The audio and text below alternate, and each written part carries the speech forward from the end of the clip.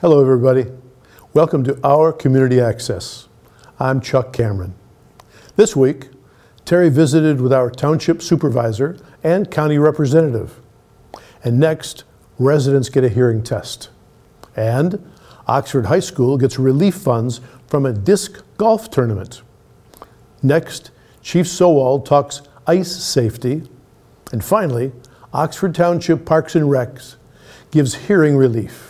All today on Our Community Access.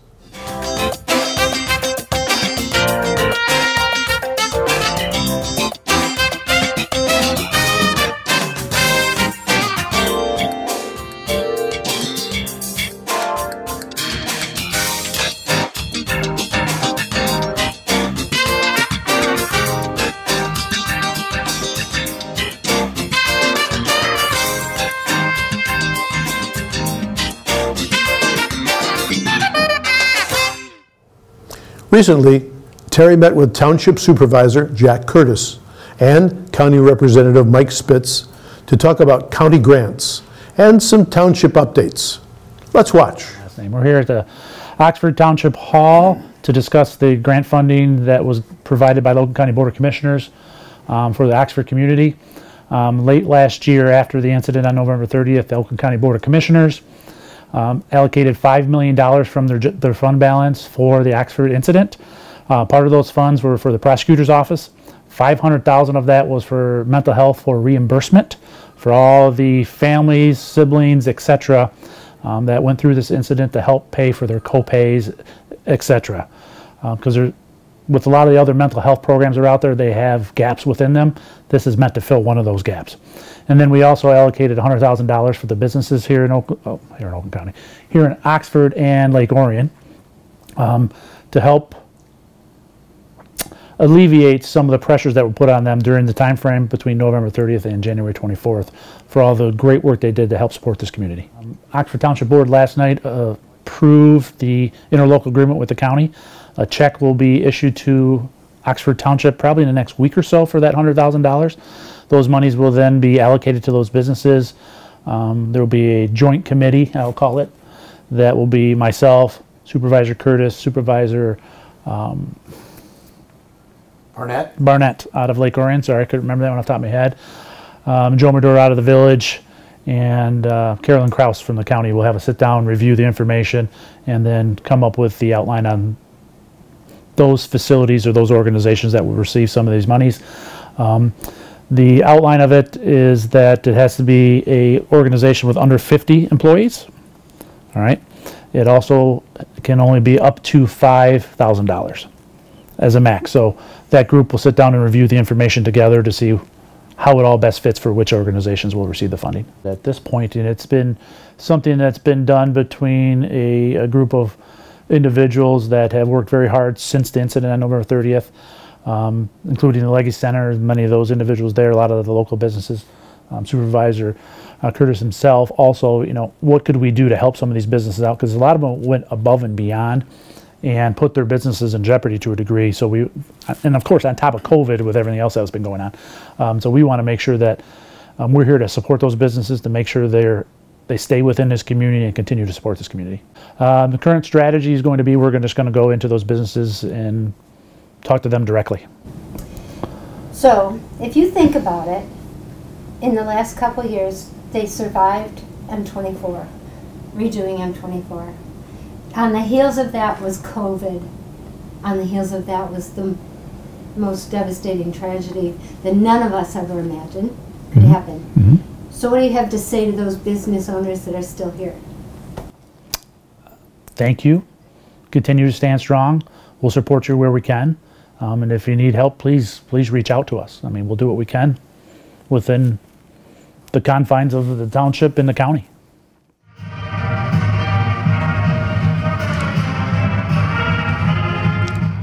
Yes, we're here to talk uh, today about the grant monies that were allocated to uh, Oxford and Orion Township uh, restaurants, businesses here in our communities uh, who donated foods and services through the uh, last few months, the period of uh, November 30th to January 24th. Um, we're trying to give back to these local businesses who dedicated their time and efforts to support the community in time of need. Uh, what they gave to us was what they did not have ooh, an opportunity to make for themselves. Uh, they took their selflessness, gave it to the community in a time of need. So, uh, through the county, working with uh, Mike Spisz and uh, Carolyn Kraus, Dave Coulter's office, releasing some of the Oakland County funds. Uh, we're going to give back to the businesses. We had, uh, through the course of this tragedy, we had restaurants donating food to the fire department, the police. Um, we fed the schools. Uh, they came back for three days and uh, the restaurant stepped up and fed the schools those three days, the teachers, the bus drivers, the uh, administrators, the cafeteria folks, whoever came in for those three days of meetings, we got restaurants donated their food and time. Uh, and it was a great step up. We had, uh, one morning I looked out the window and I had 25 dogs out my back window and I'm, I thought, oh my God, it's the Hounds of Baskerville. What it was was to ensure the safety of the schools. Uh, all the bomb dogs from around uh, lower Michigan, in fact, some up as far as Grayling, Michigan State Police, the uh, Tuscola County Sheriff, Eaton County, uh, all the uh, different authorities were out here. Well, when you bring that many people into your community, these restaurants stood up and fed them. CJ Carnacchio is our grants and communications manager. I know that his desk is full of grant requests that were going out from anything from sanitary sewer lines to uh, economic redevelopment, economic preparedness for the future. Uh, we, we take advantage of uh, any opportunity that's given us, but hard work with our team members at Oakland County. That's how we won and we, we get this for our community. I don't see a dime of it. The township doesn't see a dime of it. It's going back to the community business people. So these grants we do chase and I say I chase the money here, I don't chase it away. We, we go after it, we try to capture it and make it good for the community. Sure, North on 24. Um, during the M24 reconstruction, Oxford had the foresight of putting an 18 inch sewer main right down the center of M24. Uh, it goes right now, the sewer line is empty. Uh, it stops at the northern end of the village at Harriet Street, and what we want to do is uh, extend that sewer line north to the north. We have um, a couple of subdivisions that have septic tank issues going on that we're uh, trying to prepare ourselves to address. We also have commercial and industrial properties to our north that uh, the only reason they are not developed to the extent that they could be is the fact that they are still on septic. Sanitary sewer is very important uh, not having to have a septic field, well isolation zone. Your building can be bigger. You can have more employees. Uh, most of the businesses to the north are, a lot of them do heavy military contracting. Uh, for anything from casting engine vanes to machining those engine, jet engine vanes. And uh, it's precision work, it's high quality, high paying jobs, and uh, in order to address the future needs of the industrial society, we are trying to sewer that. So last night at the board meeting, we had our first resolution pass to uh, put the special assessment district in where the landowners will pay for the sewer to be put in. So we're going to put in about 6,500 feet of uh, sanitary sewer line to the north and it will be paid for by the property owners. Uh, from that point north to Davison Lake Road, we are going after grants through the Michigan Economic Development Corporation and chasing their money.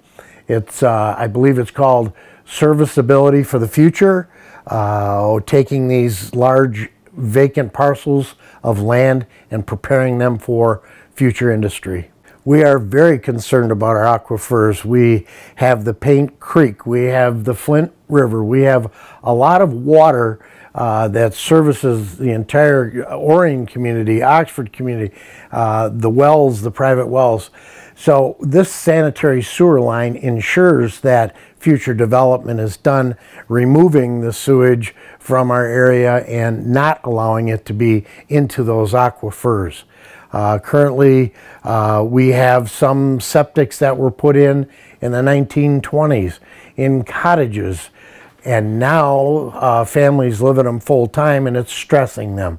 So to prepare ourselves to protect our environment, we are seeking grants and we're seeking landowner uh, companions in this project and we were happy to uh, get our first step kicked off last night.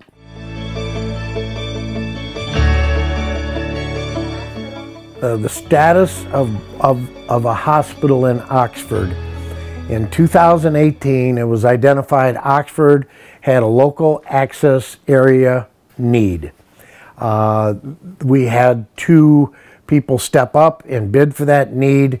One was not awarded a CON, one was told they were the only one there. They proceeded with millions of dollars in investments procuring the land, architectural. We worked through the, our planning commission up until their February of 2020 meeting. We had a Beaumont hospital coming here. Uh, when the pandemic hit in March, uh, things changed dramatically. Uh, Beaumont, the hospital that was coming here, you know what they were doing, taking care of all the patients from the pandemic. Uh, they put their program on the back burner. And in the meantime, the Michigan Department of Health and Human Services said that we no longer qualified it for the need.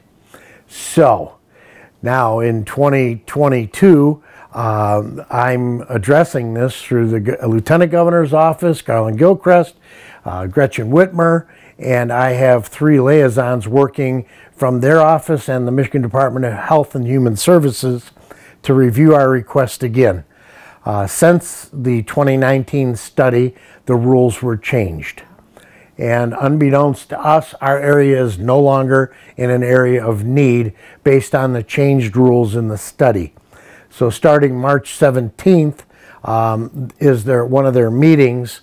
I'm going to go up there and address uh, the Michigan Department of Health and Human Services and quite frankly, be honest with them, 20 minutes to a hospital, lights and sirens is is totally unacceptable. This area is growing. Not only is our area growing, areas to our south are growing, causing more and more traffic. Traffic impacts are not recorded in the ESRI data because of M24 being shut down. Uh, the years in 2018, we showed almost 34,000 pass-bys per day in Oxford. With M24 shut down, our Drahner Road pass-bys was down to like 20,000. Well, you can't use that number against us in, in qualifying an area for a need. It still takes us 20 minutes, lights and siren, to get to a hospital. It still takes an ambulance out of our community for two hours. It still causes us to have full-time paramedics, advanced life, advanced life support qualified paramedics because it is so far to the hospitals. And uh, this, this is a hamper on us. It costs us more money, number one. Number two, there's a shortage of EMTs. There's a double shortage of paramedic, advanced life support paramedics. So it's hampering us all around. We have data that shows we're 16.2 miles to the closest hospital. I don't know of anybody that wants to have a heart attack, let alone be shot and have to be transported to a hospital that's almost 17 miles away in rush hour traffic based on data that was skewed by a, a construction project skewed by people working at home and now all of a sudden we don't need it we had two years of proof we needed it. So I'm going to go up there and fight the fight on March 17th. And I do remain in contact with the three governmental uh, aides that are supposed to help me along with it. Next, Oxford Parks and Rec hosted an Oxford High School Victim Relief Disc Golf Tournament, and our own Dan Zweiss was there.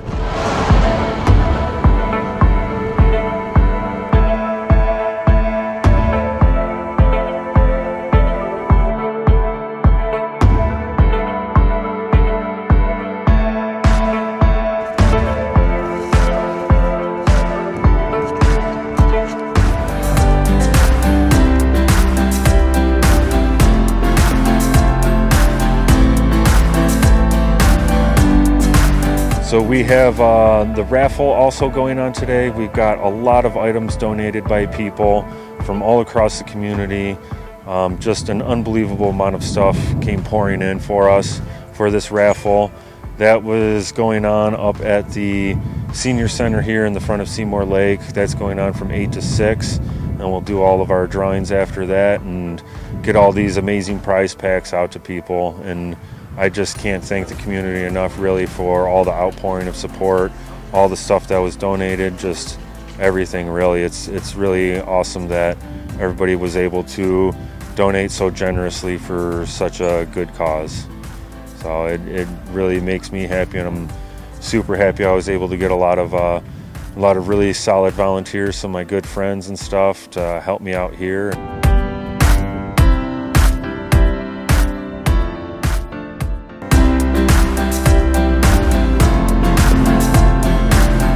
It going everyone? My name's Kyle Curtis coming up here today from Hazel Park, Michigan. As you can see, it's super cold out today, but it's beautiful and sunny. We're ready to support the Oxford community and uh, throw some discs and do what we do. Thanks uh, for coming out and supporting.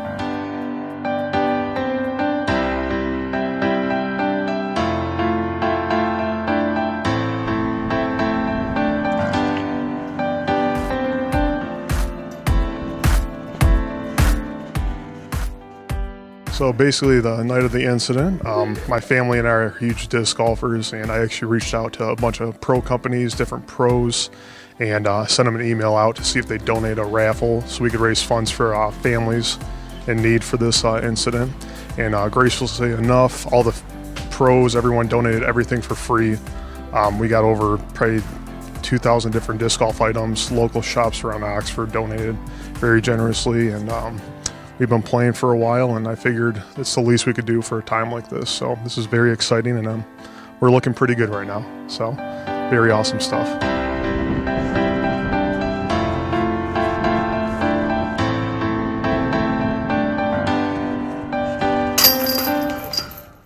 Next, because spring is springing, Joe Hewitt caught up with Village Police Chief Mike Sowald to talk about ice and lake safety. Hello everyone, uh, my name is Chief Michael Solwald with the Oxford Village Police Department. Today we're going to talk briefly about some ice safety. This time of year it's about mid-March. Uh, gets a little sketchy as far as how strong the ice is and how safe it is for people to be out on it. We've had a pretty cold season this year, so um, the ice was able to get pretty thick for us this year. But when the weather starts to change and it starts to get uh, you know, above 30, 40s, 50s, and then back down again, it can get a little sketchy as far as uh, the consistency of the ice and how solid it is. Usually, if it's three inches or thicker, it's safe to walk out on. Um, so testing that and walking out and making sure that that's three uh, three inches at least for you to walk out on and ice fish um, or to just simply walk on.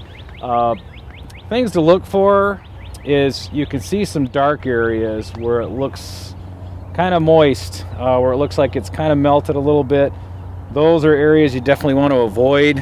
Um, little cracks, obviously, um, valleys, uh, slush, um, you want to stay away from. Uh, just looking at this, it doesn't look safe to me to be out on. Um, so it's a good idea this time of year to get your ice shanties off the uh, lakes, just so they don't, uh, the ice doesn't melt and then it falls in and then you lose your ice shanty or that's not at the bottom of a, of a lake or pond. Um, obviously the biggest thing is what we're looking for is safety. Um, again, this time of year, um, with the warm and, and uh, cold weather back and forth, it just simply isn't safe to, to be out on the ice. But again, if it's three inches or thicker, it's safe to go out onto. Um, if you run into a situation you're out on the lake and you are out walking around um, and you feel like it's you feel like you're starting to the ice is starting to crack, um, it's always suggested that you get down and you just kind of don't stand, but actually get down on the ice and just kind of crawl your way back instead of having all your weight uh, as you're standing. Um, if you see somebody that looks like they need assistance, uh, if you're standing like we are here today, um, somebody's out there, um, first and foremost, call 911. I'll get the fire department out here and the police department, and we'll do what we need to do to get that person to safety. Um, it's always a risk when you try to go out there and try to help somebody on the ice because you will also fall in the water with the rest of them. Um, but do what you can, grab a stick, grab something that you can get to them with. Um, if, if it's necessary, then you yourself, you can kind of lay down on the ice and kind of just crawl up to them and try to get a stick to them as best you can, not putting yourself at danger as best you can, um, but trying to get to that person so you can bring them into safety. And then when they do get closer, then they can roll up onto shore instead of standing up and distributing all that weight to where they're going to fall into the uh, to the weak areas of the ice. I don't think you can tell until you get out there and start to um, gauge uh, the thickness of the ice. But for me, it's not worth the risk because looking at it, and if I go out here and I think it's safe, I don't know how far I've got, how much thickness I've got to where it's not thick. So, and again, this time of year, it's not worth the risk. Best thing you can do is to drill a hole and take a, um, um, a ruler and uh, gauge it that way. The only problem with that is, is it might be three inches thick here and not three inches thick there. So that's the only concern I have, especially this time of year, because there's so many weak areas uh, depending on where you're at on the lake or the pond. Looking at this right now and seeing some of the, the dark ridges and, and uh, valleys and slush, it doesn't look safe at all for me. Um, it definitely would not be a risk that I would take, so I would hope nobody else would take that risk. So it's my best advice is just not to be on the ice this time of year. Um, start to prepare yourself for spring. Good advice. And finally, Teri caught up with some hearing specialists at the Senior Center. Let's listen.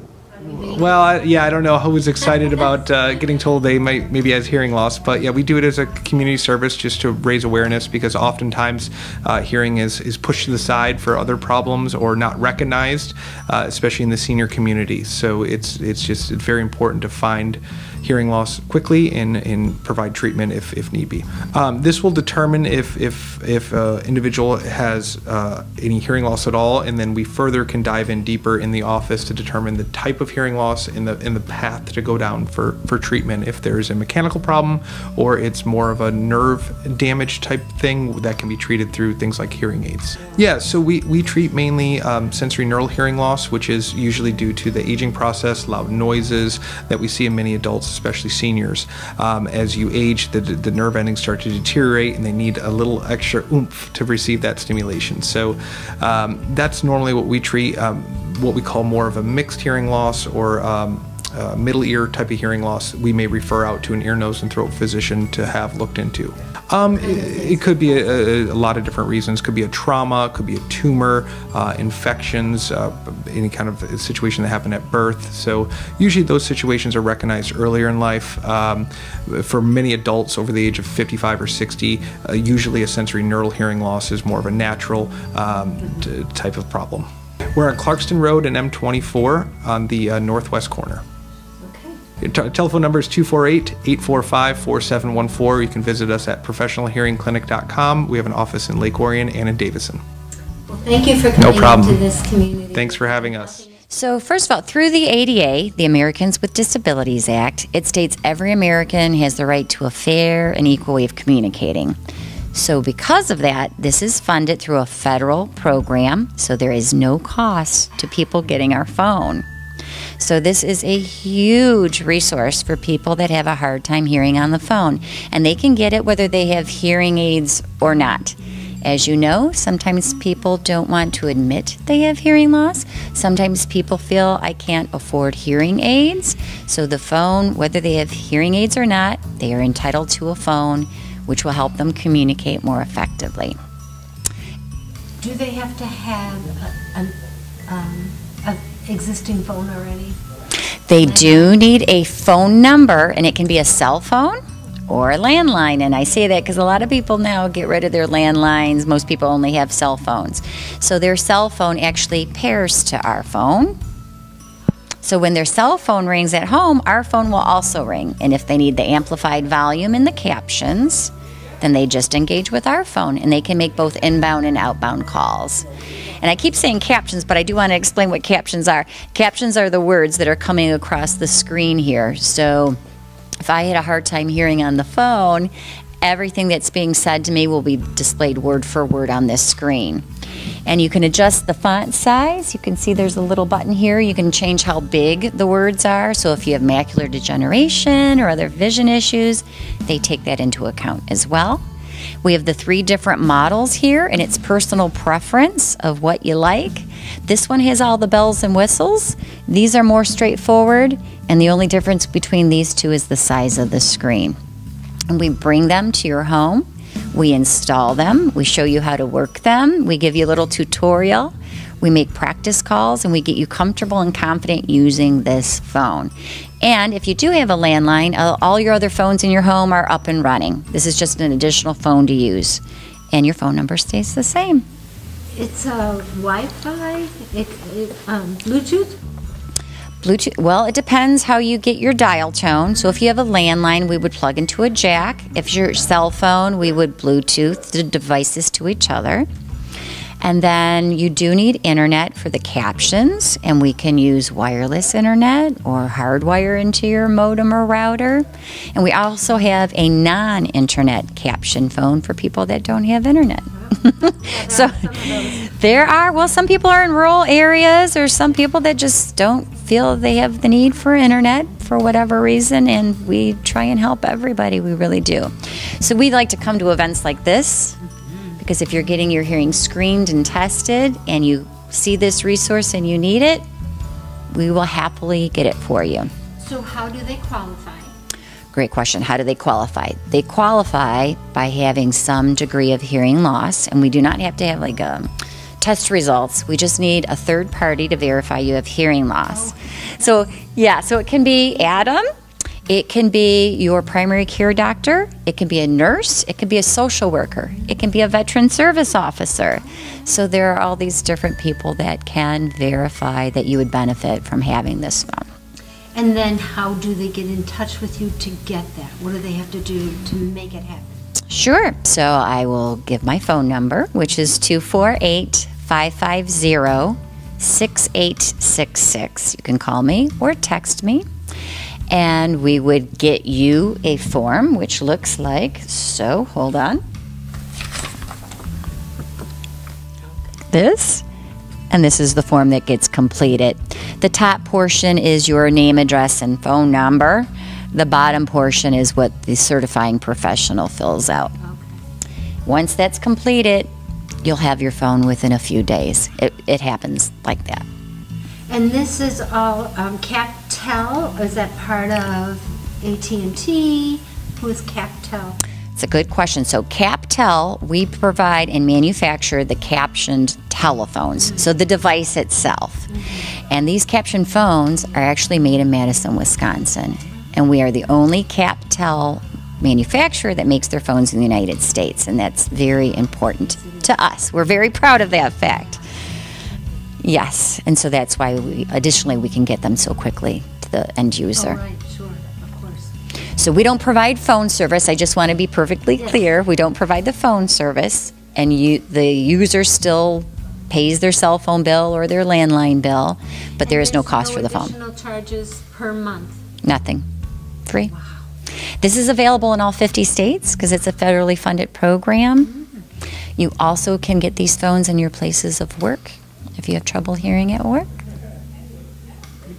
Good to know. Well, thank you for spending Welcome. I really well, I love what I'm super passionate about what I do. I love it. I love it so much. I've seen I've seen people's faces light up. I've seen the most amazing first phone calls of siblings that haven't talked in years. Goosebumps. Um, so if we can be of service, please reach out to me. And thank you for well, thank you for that's all the time we have for this edition of our community access. I'm Chuck Cameron, and thanks for watching.